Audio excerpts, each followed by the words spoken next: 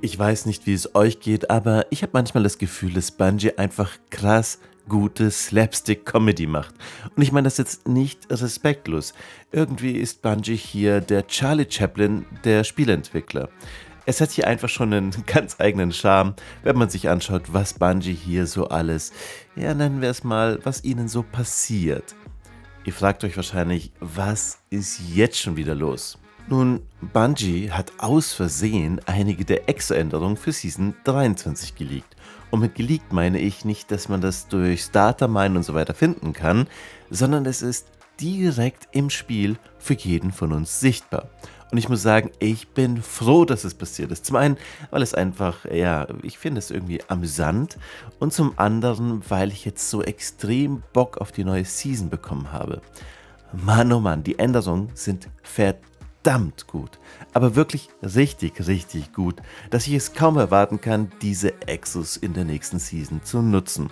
Denn auch wenn Bungie die Änderung im Game, also genau gesagt bereits im Text der Exos geleakt hat, so hat sich die Funktionsweise noch nicht geändert. Also die Änderungen sind noch nicht live, nur der Text hat sich geändert. Ihr wollt jetzt aber wissen, welche Exos sich ändern, oder? Okay, gut. Schauen wir uns das Ganze an.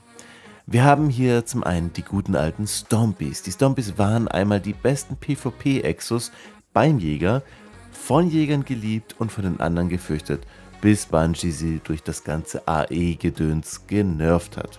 Jetzt gibt's für diese Schuhe einen ordentlichen Buff und ich bin gespannt, ob euch der Buff direkt auffällt. Ich lese euch mal den Text zum Rüstungsperk vor. Hydraulische Booster. Erhöht das Sprinttempo sowie die Rutschweite und verbessert außerdem Hochsprung, Lenksprung und Dreifachsprung. Du erleidest in der Luft weniger Schaden von Kämpfern.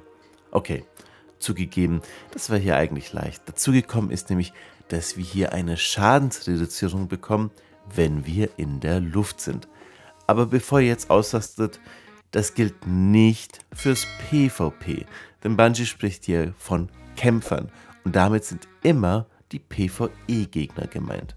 Ich finde es krass, dass die Ja, also die PvP-Exo-Schuhe schlechthin in Season 23 jetzt zu einem wahrscheinlich für die breite Masse tauglichen PvP, äh, PvE-Exo werden. Ist schon eine krasse Veränderung und ähm, ich persönlich freue mich drauf. Ich meine, klar, wir müssen hier schauen, wie stark der Schadenswiderstand ist, aber generell hört sich das mega interessant an und passt sehr gut zu einem schnellen und aggressiven Spielstil. Das nächste Exo sind die Galanor Bruchstücke. Die waren einmal so extrem gut zusammen mit dem Klingenfeuer. Leider ist es aber schon zu lange her. Womöglich hat sich das auch Bungie gedacht und deshalb bekommen auch diese einen Buff. Der Exo-Perk lautet hier scharfe Kanten und der Text ist jetzt wie folgt. Wurfmesser-Todesstöße verringern die Abklingzeit deiner Super. Treffer und Todesstöße mit Klingenfeuer geben Super Energie zurück, nachdem die Super endet. Also, wir können hier jetzt weiterhin bis zur Hälfte der Superenergie zurückbekommen, wenn wir sie einsetzen. Aber was vor allen Dingen interessant ist, wir bekommen für Wurfmesser-Kills Superenergie. Finde ich richtig gut von Bungie, dass sie hier den Buff machen und damit nicht nur das Exo besser machen, sondern eben auch den Einsatz von Wurfmessern belohnen. Fraglich ist für mich zurzeit nur, sind hier alle Solar-Nahkämpfe gemeint oder ist es nur das ausbalancierte Wurfmesser, weil nur hier das Wort oder ja, das Wort Wurfmesser mit vorkommt. Ich weiß es nicht. Ich gehe jetzt tatsächlich davon aus, dass es alle Nahkämpfe sind und dann wird es schon richtig, richtig nice. Weiter geht's mit den Mechaniker Trickärmel. Und hier muss ich sagen, bin ich mir nicht sicher, ob das Ganze nicht zu OP wird. Ob Bungie hier sich im Klaren ist, was diese Änderung bedeuten kann? Der Exoperk Gefederte Halfter hat nun folgende Beschreibung. Erhöht die Effektivität in der Luft, das Handhabungstempo sowie das Nachladetempo der Pistole. Wenn du kritisch verwundet bist und zu einer Pistole wechselst, wird sie nachgeladen und verursacht mehr Schaden. Während ihr Effekt aktiv ist, laden Pistolen Todesstöße die Waffe nach und verlängern die Dauer des Effekts. Diese Exo-Arme haben ja erst letztes Jahr oder wann es war einen ordentlichen Buff bekommen und sind gar nicht mal so schlecht, aber ja, halt sehr nisch, weil man hier eben Pistolen spielen muss und das macht kaum einer wirklich gerne. Wisst ihr übrigens, wie hoch der Schadensbuff ist, den man hier bekommt? Es sind bisher 100%. Ich meine, wenn man hier nichts ändert, dann, ihr habt schon richtig gehört, 100% mehr Schaden aus der Pistole, wenn man diesen Perk, aktiviert. Und jetzt können wir im Grunde die 100% mehr Schaden nicht nur für eine kurze Zeit unter relativ schwierigen Umständen aktivieren, sondern in der Theorie unendlich lange mit einem hundertprozentigen Schadensbuff rumrennen, bei dem wir nie die Waffe nachladen müssen. Zumindest nicht, solange Gegner da sind, die wir erledigen können. Also ihr versteht schon, wir brauchen hier nur einmal kritisch verwundet sein, wechseln auf die Pistole und los geht's.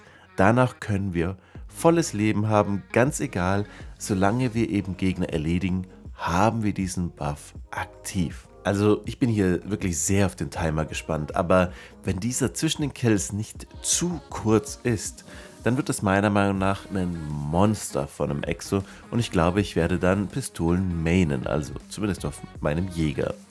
Die letzte Exo für den Jäger ist dann der Exo-Helm himmlischer Nachtfalke mit dem Exo-Perk Falkenauge-Hack. Präzisions-Todesstöße verringern die Abklingzeit einer Super, modifiziert Goldene Kanone so, dass sie einen Einzelschuss mit hohem Schaden abfeuert. Durch den Schuss getroffene Ziele geben dir Superenergie und explodieren. Auch hier, ähnlich wie bei den Galanor Bruchstücken, bekommen wir eine Möglichkeit, mehr Superenergie zu generieren. Einfach Präzisions-Todesstöße machen und schon gibt es mehr Energie hier.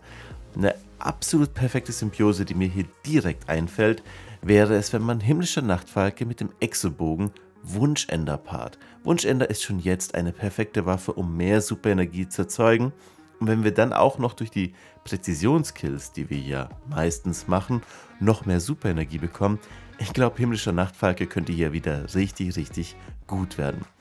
Aber auch die anderen Klassen bekommen hier ein wenig Liebe. Beim Titan sind die Änderungen für die Syntheseps geleakt, Biotische Verbesserung hat nun folgenden Text. Du erhältst erhöhten Nahkampf und Superschaden sowie verbesserte Waffenhandhabung und ein erhöhtes Nachladetempo, wenn du umzingelt bist. Hier ist es tatsächlich ein Nerf und ein Buff gleichzeitig. Zum einen haben wir hier nicht mehr die erhöhte Reichweite beim Nahkampf, das wurde entfernt. Das hat Bungie aber auch schon angekündigt, angekündigt gehabt. Aber dafür haben wir das verbesserte Nachladetempo und die verbesserte Handhabung für Waffen. Das geht meiner Meinung nach so in Ordnung. Ich meine, einfach nur einen Buff auf Synthus wäre auch definitiv zu heftig. Und für den Warlock sind hier noch Änderungen für die Kahnstein-Armbinden im Game. Umarmung des Vampirs. Nahkampf-Todesstöße und Finisher gewähren sofort Heilung und gewähren für kurze Zeit Wiederherstellung. Also nicht nur die Nahkampf-Todesstöße, sondern auch Finisher was insbesondere fürs Endgame gut ist, geben jetzt die Heilung und eben Wiederherstellung. Ich bin hier gespannt, ob es Wiederherstellung mal 1 oder mal 2 ist. Mal 2 wäre schon ziemlich heftig, aber irgendwie muss ich auch sagen, hätte ich Bock drauf. Also, why not? So, das waren einmal die Änderungen, die geleakt wurden. Alle Titans und Warlocks, die nun aufgebracht sind, dass der Jäger hier viel mehr Liebe bekommt.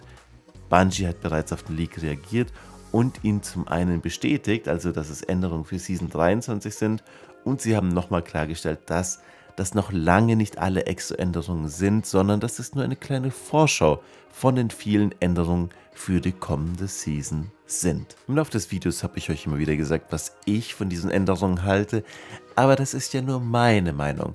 Mich würde jetzt interessieren, was ihr davon haltet. Lasst mir doch hier gerne einen Kommentar dazu da und wenn euch das Video gefallen hat, würde ich mich auch sehr über einen Like oder vielleicht ein Abo freuen. Wäre ein mega Support für mich und ja, was bleibt mir noch zu sagen, außer bis zum nächsten Mal, euer Ilias. Ciao.